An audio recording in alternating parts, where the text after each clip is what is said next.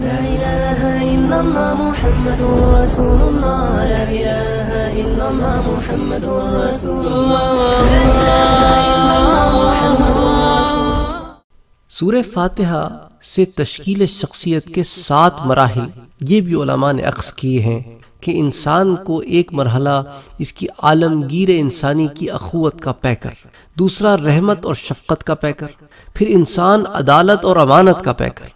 پھر انسان استغنا اور عزت نفس کا پیکر پھر انسان توازو اور نیاز مندی کا پیکر پھر انسان اعتدال اور توازن کا پیکر پھر انسان حق و باطل کے درمیان واضح امتیاز کا پیکر تو انسان کی شخصیت کے اوپر سورہ فاتحہ نے بڑی تفصیل سے کام کیا ہے، جس کو پھر علماء نے نقل کیا ہے، جمع کیا ہے، باضابطہ اس پہ تفاصیر لکھی ہیں کہ اب سورہ فاتحہ انسان کی عالمگیر انسانی اخوت کا پیکر کیسے ہوتی ہے۔ جب انسان اپنی زبان سے الحمدللہ رب العالمین پکارتا ہے، تو وہ خدا کی آفاقی، کائناتی اور عالمگیر ربوبیت کا اقرار کر رہا ہوتا ہے۔ رب العالمین کے الفاظ اس تصور کی نفی کر دیتے ہیں کہ وہ کسی خاص نسل قبیل علاقے یا گروہ کا رب ہے۔ اس کی ربوبیت تمام امتیازات سے ماورا ہے۔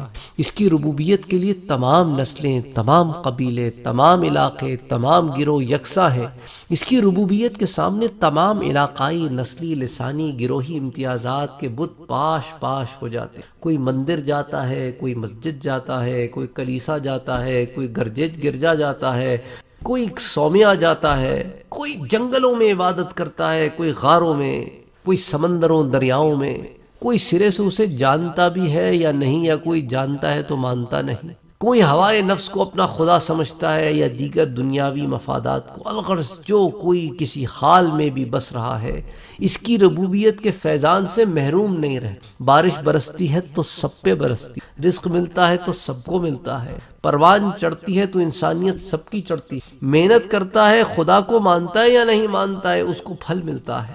اس کی ربوبیت کے فیضان سے کوئی محروم نہیں۔ جب انسان اپنے رب پر ایمان لاتا ہے اسے خالق و پروردگار سمجھتا۔ تو سورہ فاتحہ کی یہی پہلی آیت اسے جھنجوڑ کر کہتی ہے کہ اے رب کائنات کی عالمگیر ربوبیت کا دھم بھرنے والے، کیا تو نے بھی اس کا بندہ ہونے کے لحاظ سے اپنی وفاداریوں کو عالمگیر انسانی اخوت میں بدل لیا ہے یا نہیں؟ کیا تو، کیا تیرے اندر وہ احساس پیدا ہو گیا ہے کہ نہیں؟ کہ میں اس رب کی عبادت کرتا ہوں جو رب العالمین ہے۔ تو بحیثیت انسان، میرا بھی کچھ کانٹریبیوشن ہونا چاہیے ان چیزوں کی طرف جو اس کا خلق ہے، جو اس کی ابدیت میں ہے، جو اس کے بندے ہیں، جو اس کی تخلیق ہیں۔ میرا بھی تو کوئی فرض بنتا ہے۔ یا صرف میں کرسی پہ بیٹھنے والا خلیفہ ہوں، یا میں صرف باتیں کرنے والا خلیفہ ہوں، یہ نعرے لگانے والا خلیفہ ہوں۔ یا پھر ایک عملی خلیفہ ہوں جو اس بات کو سمجھتا ہے، جانتا ہے اور آگے لے کر چلنا چاہتا۔ اسی طرح یہ انسان کو رحمت و شفقت کا پیکر بناتی ہے۔ جیسے کہ سورہ فاتحہ کی دوسری آیت الرحمن الرحیم ہے کہ جو بتاتی ہے کہ جس رب کو تم مانتے ہو، وہ الرحمن ہے، وہ الرحیم ہے، بہت نہایت مہربان، نہایت رحم کرنے والا۔ تو اے اس رب کو ماننے والے، کیا تو بھی لوگوں پر رحم کرتا ہے؟ کیا تو بھی لوگوں پر مہربان ہے؟ کیا تو بھی لوگوں کے ساتھ اچھے اخلاق سے پیش آتا ہے؟ اس نے تو تجھے بنایا، تیرے پہ کرم کیا۔ ثم سواہ ونفق فیہ من روحہ وجعل لکم السمع والابصار والافئدہ۔ سورہ سجدہ کی آیت ہے، پھر اس کو ٹھیک بنایا اور اس میں اپنی روح میں سے پھونکا اور تمہارے لیے کان، آنکھ اور دل بنائے۔ تو کیا ان کانوں سے تم کیا سنتے ہو؟ ان آنکھوں سے تم کیا دیکھتے ہو؟ اور اس دل سے تم کیا سوچ کیا اس کو تم نے پاک کیا ہے یا گندگی کی آماج گاہ بنا دیا ہے؟ اور سنو، اچھے اخلاق پیدا کرو۔ تم تو حضور اکرم صلی اللہ علیہ وآلہ وسلم کی امتی ہو۔ دیکھو، سورہ آل عمران کی آیا کیا کہتی ہے؟ والکاظمین الغیظ اور غصہ ضبط کرنے والے۔ والعافین عن الناس اور لوگوں کو ان کی غلطیوں پر معاف کرنے والے۔ واللہ یحب المحسنین اور اللہ تعالی احسان کرنے والوں سے محبت فرماتا ہے۔ ایک اور مقام پر ارشاد ہوتا ہے۔ والذين صبروا ابتغاء وجه ربهم وأقاموا الصلاة وأنفقوا مما رزقناهم سرا وعلانية ويدرؤون بالحسنة السيئة. أولئك لهم عقبى الدار.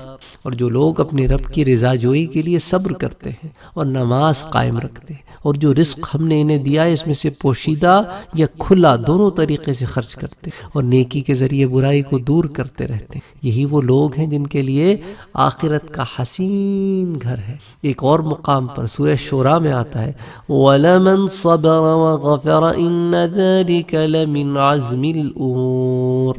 اور جو کوئی برائی اور زیادتی پر صبر کرے، بلکہ معاف کر دے، تو یقیناً یہ بڑے بلند حوصلے کی بات ہے۔ اور پھر قرآن کہتا ہے کہ میرے پاک نبی اللہ کہتے ہیں، میرے پاک نبی میرے بندوں سے کہہ دیجیے۔ قل یا عبادی الذین اسرفوا علی انفسہم، میرے پاک نبی میرے بندوں سے کہیے کہ اے میرے گناہگار بندوں، گناہ کر بیٹھے ہو تو اپنے رب کی طرف لوٹ آؤ، وہ تمہارے گناہوں کو معاف کر دے گا۔ حضور اکرم صلی اللہ علیہ وآلہ وسلم نے فرمایا، صحیح مسلم کی حدیث ہے، اس ذات کی قسم جس کے قبضے قدرت میں میری جان ہے۔ اگر تم ایسے ہو جاؤ کہ تم سے گناہ سرزد ہی نہ ہو تو خدا تمہیں مٹا کر تمہاری جگہ ایسی قوم لے آئے گا جو گناہ میں مبتلا ہوگی۔ لیکن اس سے بخشش و مغفرت کی طلبگار بھی ہوگی۔ پس اللہ ان کو بخش دے گا۔ تو خطا تو ہوتی ہے، تم درگزر سے کام لو۔ ابن ماجہ میں روایت آتی ہے، حضور نے فرمایا، التائب من الذنب کمن لا ذنب لہ۔ گناہ سے توبہ کرنے والا اس طرح ہے جیسے اس نے گناہ کیا ہی نہیں۔ پھر انسان میں عدالت و امانت کا پیکر ہونے کی خصوصیت۔ پیغام رحمت کے بعد سورہ فاتحہ انسان کو باری تعالیٰ کے آگے حاضر ہونے، یوم الدین کے دن کے بارے میں بتاتی ہے کہ ایک عدالت لگے گی۔ اس میں ظلم نہیں ہوگا۔ جو کر کے آؤ گے، وہ تمہارے سامنے رکھا جائے گا۔ اللہ عز و جل سورہ بقرہ میں فرماتے ہیں، ثم توفى كل نفس ما كسبت وهم لا يظلمون۔ پھر ہر شخص کو جو کچھ عمل اس نے کیا ہے، اس کی پوری پوری جزا دی جائے گی اور ان پر ظلم نہیں ہوگا۔ پھر سورہ نساء میں آتا ہے ان اللہ لا يظلم مثقال ذرہ بے شک اللہ کسی پر ذرہ برابر بھی ظلم نہیں کرتا۔ پھر ایک اور مقام پر سورہ یونس میں اللہ عز و جل ارشاد فرماتے ہیں ان اللہ لا يظلم الناس شيئا ولكن الناس انفسهم يظلمون۔ بے شک اللہ لوگوں پر ذرا برابر ظلم نہیں کرتا، لیکن لوگ خود ہی اپنی جانوں پر ظلم۔ اللہ اکبر، اور یہ ظلم کیا ہے؟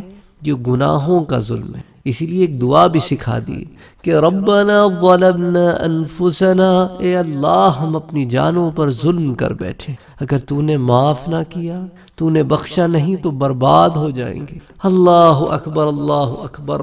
باری تعالیٰ کی یہ صفت یوم جزا و سزا کے حوالے سے اس لیے بیان کی گئی ہے کہ اس دن وہ ذات پکار کر کہے گی، لمن الملک اليوم؟ آج کس کی بادشاہی آج کون بادشاہ ہے؟ کوئی فرعون سر نہ اٹھا سکے گا۔ کوئی یزید اپنی آمریت کی بات نہیں کر سکے گا۔ ساروں کو چپ لگ جائے گی۔ پھر میرا پاک پروردگار خود جواب دے گا۔ للہ الواحد القہار۔ صرف اللہ کی بادشاہی۔ جو اکیلا ہے قہار یعنی طاقتور اور زبردست گرفت کرنے والا۔ اللہ اکبر اللہ اکبر لا الہ الا اللہ محمد رسول باری تعالیٰ سورہ نساء میں فرماتے ہیں ان یکن غنیا أو فقیرا فاللہ اولا بہما اگرچہ جس کے خلاف گواہی ہو مالدار ہے یا محتاج اللہ ان دونوں کا تم سے زیادہ خیر خواہ ہے یہاں بڑے دو ٹوک انداز سے حقیقت واضح کر دی گئی ہے کہ نہ کسی امیر کی عمارت، دولت مندی اور اثر و رسوخ تمہیں عدل سے انحراف کرنے دے اور نہ کسی غریب کی غربت، بے کسی اور قابل ترس حالت عدل سے تمہیں انحراف کرنے دے۔ کسی کی ظاہری عادت حالت پہ تم عدل نہیں کرو گے۔ غریب چوری کرتا ہے تو سزا ہے، امیر چوری کرتا ہے تو غریب اچھا کام کرتا ہے تو وہ اچھا کام ہے۔ امیر اچھا کام کرتا ہے تو بھی وہ اچھا کام ہے، اور وہی اچھا کام کوئی بھی کرے اچھا کام ہے، وہی برا کام کوئی بھی کرے برا کام ہے۔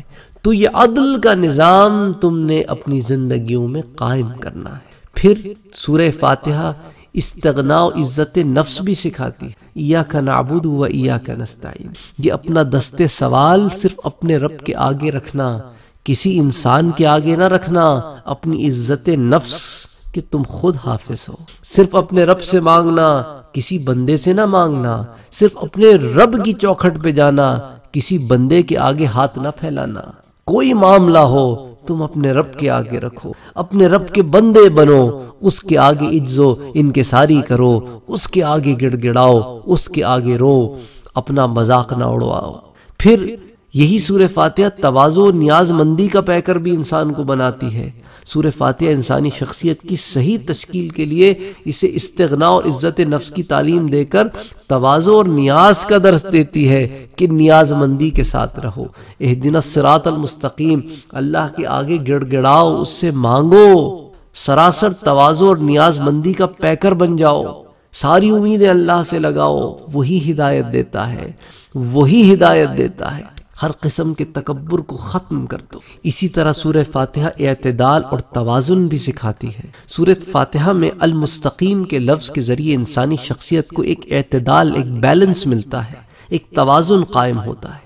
اہدین الصراط المستقیم، ہمیں سیدھا راستہ دکھا۔ اور سیدھا راستہ جو ہے، ضروری نہیں ہے کہ سٹریٹ پیتھ ہو۔ سیدھے راستے سے مراد ہوتی ہے صحیح راستہ۔ اس میں بل بھی آئیں گے۔ اس میں اتار چڑھاؤ بھی آئیں گے، لیکن وہ راستہ صحیح راستہ ہو اور اس پہ استقامت پھر پار کرا دے گی۔ اور وہ راستہ بڑا بیلنس راستہ ہوگا سوال یہ پیدا ہوتا ہے کہ زندگی کے ہر معاملے میں سیدھی راہ کون سی ہے، جس کا جواب صراط الذین انعمت علیہم میں موجود ہے۔ کہ وہی راستہ جس پر اللہ کا انعام ہوا اور وہ راستہ نہیں لینا جو اللہ کے غضب کا شکار ہونے والوں نے لیا یا گمراہ ہونے لیا۔ تو نعمت کا راستہ صراط الذین انعمت علیہم، پھر غضب کا راستہ غیر المغضوب علیہم، اور ضلالت کا راستہ ولدالین تین راستے ہیں۔ چوائس تمہاری ہے تم کون سا راستہ اختیار کرتے ہو۔ دو گمراہی اور ضلالت کے راستے اور ایک ہدایت کا راستہ۔ سورہ بقرہ میں اللہ عز و جل امت محمدیہ کے بارے میں ارشاد فرماتے ہیں، وَكَذَلِكَ جَعَلْنَاكُمْ أُمَّةً وَسَطًا لِتَكُونُوا شُهَدَاءَ عَلَى النَّاسِ۔ اور اے مسلمانوں، اسی طرح ہم نے تمہیں اعتدال والی بہتر امت بنایا تاکہ تم لوگوں پر گواہ بنو۔ اعتدال اعتدال اعتدال۔ حضرت لقمان نے اپنے بیٹے کو کہا، بیٹا، وقصد فی مشیک وقضد من صوتک. دیکھ میانہ چال چل اور اپنی آواز کچھ پست رکھ۔ اللہ اکبر۔ نہ بھونک، نہ چنگھاڑ، نہ ایسی آواز کی کسی کو پتا بھی نہ چلے۔ اعتدال کی زندگی ہو، اعتدال کی چال ہو۔ سورہ آراف میں اللہ عز و جل فرماتے ہیں کلو وشربوا ولا تسرفوا کھاؤ اور پیو اور حد سے زیادہ خرچ نہ کرو کہ انہو لا يحب المصرفین وہ بیجا خرچ کرنے والوں کو پسند نہیں فرماتا۔ خرچ میں بھی میانہ روی کرو۔ اور سورة الفرقان میں فرماتا ہے، وَالَّذِينَ إِذَا أَنفَقُوا لَمْ يُسْرِفُوا وَلَمْ يَقْتُرُوا وَكَانَ بَيْنَ ذَلِكَ قَوَامًا۔ اور وہ لوگ جو خدا کی راہ میں خرچ کرتے ہیں تو نہ اسراف یعنی افراد کرتے ہیں اور نہ بخل یعنی تفریط، بلکہ دونوں حالتوں کے درمیان حالت اعتدال پر قائم رہتے ہیں۔ بین ذالک قوام پھر سورہ بنی اسرائیل میں اللہ عز و جل فرماتے ہیں، وَلَا تَجْعَلْ يَدَكَ مَغْلُولَةً إِلَىٰ عُنُقِكَ وَلَا تَبْسُطْهَا كُلَّ الْبَسْطِ۔ اور نہ اپنا ہاتھ اپنی گردن پر باندھا ہوا رکھو کہ کسی کو کچھ دو ہی نہ، اور نہ ہی سارا کا سارا کھول دو کہ سب کچھ ہی لٹا دو۔ یعنی مال کو خرچ کرنے میں نہ بخل کرو، نہ اسراف۔ ہر چیز میں اعتدال۔